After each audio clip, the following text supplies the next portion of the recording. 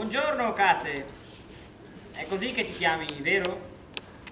Avete sentito bene, pur se siete un po' duro d'orecchio. Quando si parla con me, signore, si dice Catarina. È una bugia dirla tutta, perché ci si chiama semplicemente Kate. A volte dicono la cara Kate, a volte dicono Kate la stizzuta. Comunque, la più graziosa Kate, la Kate di Kate Hall. Sentendo la tua grazia e la tua mitezza lodate in ogni città e villaggio, le tue virtù esaltate, le tue bellezze descritte ad una ad una, e pur sempre inadeguatamente rispetto a quelle che tu possiedi, mi son mosso per venire a farti la corte e chiederti quindi in moglie. Si è mosso. Ma bravo lui. Ora, fai in modo che ciò che ti ha mosso fin qui ti di nuovo per farti tornare indietro. Ho capito subito che eravate un bel E mobile. che cos'è un mobile? Un tres. L'hai capita giusta, vieni a sederti su me. Signore, i somari sono fatti per portare la somma e tu sei uno di loro. Sono le donne che sono fatte per portare la somma dei figlioli e tu sei una di loro. Ma non una rozza come voi, se è questo che volete intendere.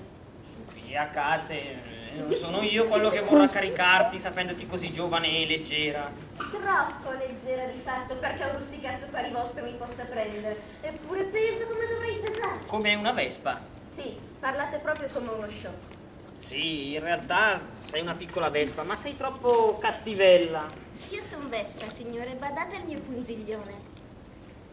L'unica soluzione sarebbe quella di strapparlo. Sì, se lo sciocco sapesse dove si trova. Eh, e chi non sa dove una vespa tiene il suo pungiglione? Lo tiene nella coda. Lo tiene nella lingua. Quale lingua? Nella vostra. Se siete buono soltanto a dire stupidaggini. Vi saluto. Cioè, mi saluti con la mia lingua nella tua coda. Io sono un gentiluomo. Questo ancora di essere provato. Se mi percuoti un'altra volta, giuro che ti prendo a schiaffi. E così perderete il vostro blasone. Se mi battete sicuro non siete più un gentiluomo. E se non siete più un gentiluomo, blasone. Sei dunque una consulente d'araldica? Mettimi dentro i suoi iscritti. Cosa c'è sul vostro stemma, signore? La cresta di un gallo come quella che portano in capo i buffoni. Un gallo dalla cresta bassa, se Kate sarà la mia gallina. Mi dispiace, non siete il gallo che fa per me, il vostro chicchirichi per quello di un cappone. E su via, non c'è bisogno di essere sempre così acida. Mi dispiace. È la mia naturale reazione. Tutte le volte che vedo una mela vizza. Beh, qui non c'è nessuno nella vizza, quindi non c'è bisogno. No, guarda, c'è, te lo assicuro c'è. E allora fammela vedere. Ma tesoro, se avessi uno specchio te la farei vedere molto volentieri, guarda. Stai insinuando che si tratta della mia faccia? Ma che perspicacia! Ma bravo! Avete proprio colto di segno nonostante la giovane età. Per San Giorgio, sono anche troppo giovane per te. E perché la vostra faccia è tutta pizzita? È per via delle mie gravi cure. Di quelle non mi curo. Non mi scapperai così.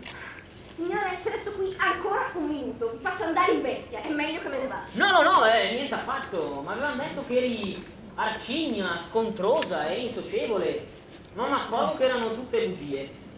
Che alla gente da dire in giro che cade zoppica. Di grazia che ti vedo un po' mentre cammini. Non è vero che sei zoppa. Vattene di qua, pezzo di sciocco, prova a comandare solo te al tuo soldo. Sai mai dato che Diana adornasse un boschetto? Quanto Kate adorna in questo punto la sua camera con quella sua bella andatura da principessa? Dove avreste imparato tutte queste belle cose? Le improvviso mi vengono dall'ingegno di mia madre. Ma che madre ingegnosa, che il figlio di per sé di certo non lo sarebbe. Non ti sembro assennato? Si guarda tesoro, abbi cura di te stesso, tirati bene in caldo, ciao. È proprio quel che intendo fare. E nel tuo letto. Ora, mettendo da parte tutte queste nostre chiacchiere, una volta per tutte, ti dirò in modo schietto e tondo che tuo padre ha consentito a ciò che tu divenga mia moglie. Ci siamo messi d'accordo sulla dote, quindi tu lo voglia o no, ti sposerò. Devi sapere, Kate, che sono proprio il marito che ti ci vuole. E per questa stessa luce, grazie alla quale posso ammirare la tua bellezza, la tua bellezza che mi induce ad amarti tanto, tu non dovrai avere altri mariti che me. Perché sono nato per domarti, Kate, e trasformarti da una gatta selvatica qual sei in una gatta mansueta, come tutte le gatte domestiche. Guardati dal rifiutarmi. Io debbo e voglio avere Catarina per moglie, non ci sono santi.